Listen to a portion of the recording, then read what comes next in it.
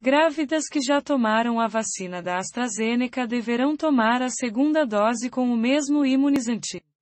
Ministério da Saúde determinou que as mulheres devem aguardar o fim da gestação e do período puerpério, até 45 dias pós-parto, para completar o esquema vacinal com a vacina da AstraZeneca.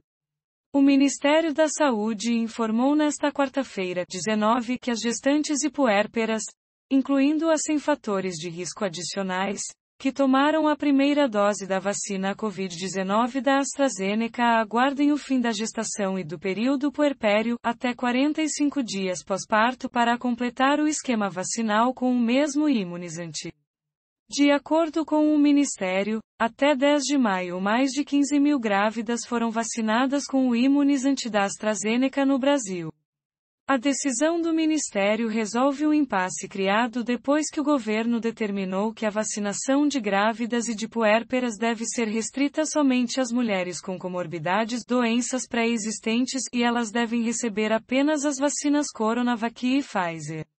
A determinação vale até que sejam concluídas as análises de um caso raro de morte de uma gestante de 35 anos por causa de um acidente vascular cerebral hemorrágico AVC que pode ter ligação com o uso da vacina AstraZeneca.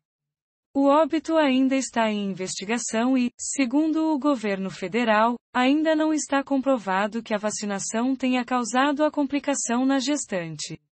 Antes dessa determinação, em 26 de abril, o Ministério decidiu incluir todas as grávidas e puérperas, mulheres no período pós-parto, no grupo prioritário para receber a vacina contra a Covid-19. Em 15 de março, o governo já tinha incluído as gestantes com comorbidades.